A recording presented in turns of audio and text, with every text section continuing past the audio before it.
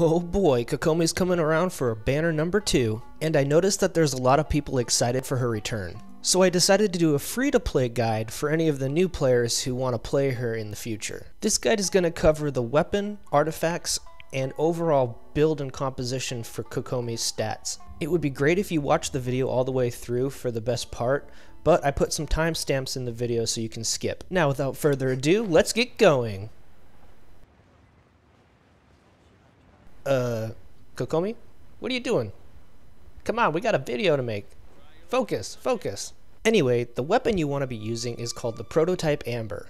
This is the best free-to-play option for Kokomi, and it's best in slot overall for 4-star weapons. You can also craft this at the blacksmith, so you don't have to waste any primo gems wishing for it. This also makes it easier to reach maximum refinement level. What makes the amber so valuable is the massive HP increase it gives you, and the regeneration effect it gives you after you ultimate.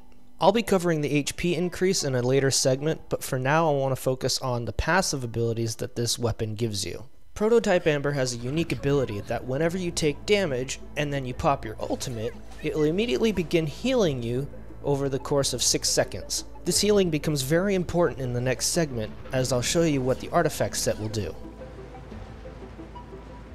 Oh, we're doing this still? Alright, whatever.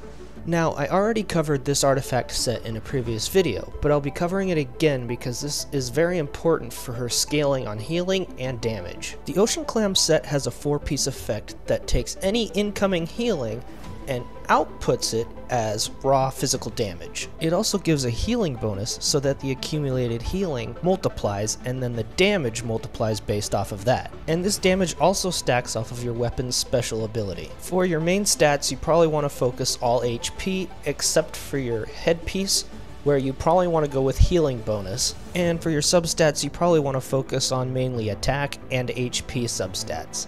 When I activate Kurage's Oath, you can immediately see a bubble above my head. This bubble is the catalyst that collects the healing done and then outputs it into the damage. It also procs as many times as you receive healing, and the more health you gain for each interval, the more damage you'll deal overall.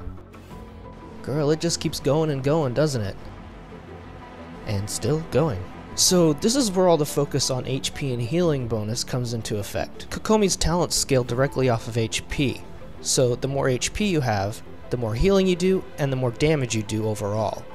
After you activate her ultimate, your basic attacks also gain extra damage based off of her max HP as well. She also has a passive talent that adds damage based off of her max healing bonus. Kurage's Oath is a bit of a pick and choose. Its healing scales off of HP, but its damage scales off of Hydro. If you want to do more Hydro damage, you can go with a Hydro Goblet, or you can stick to HP build and just build tanky. As you can see here, activating my ult causes my basic attack damage to increase, as well as causing the effect of my clam set to increase as well, up to several times in fact. Oh good grief. So these are my overall stats with Kokomi. Uh, I have low HP and I can actually go higher because I'm using a Hydro Goblet and not an HP Goblet. And honestly, the damage ratio between the two really isn't that much of a difference. Now, I need to let you new players know that Kokomi's crit rate is negative crit rate. So that's why I said focus on HP and attack because adding crit is absolutely useless. To maximize Kokomi's damage, you have to find a composition that works well for her passive damage and reactions. Adding a pyro character like Xiangling to the list guarantees that you're going to get very good vaporized damage, and adding an electro turret character into the mix makes for an excellent taser composition. So with all of this put together, and using your skills properly, you can get away with fighting with little to no downtime, and it's actually very fun. You should try her out in multiple different team comps just to see what works best for you and the characters that you have at the time. Anyway, I'll stop talking and let you enjoy this montage that I've put together for you.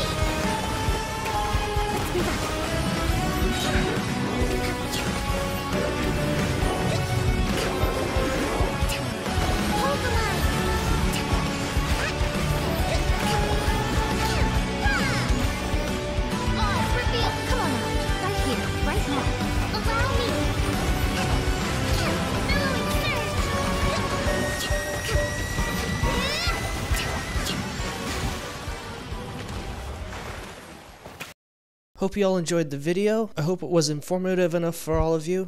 Uh, don't forget to like, comment, and subscribe. But that's all I got for you, and I'll see you later.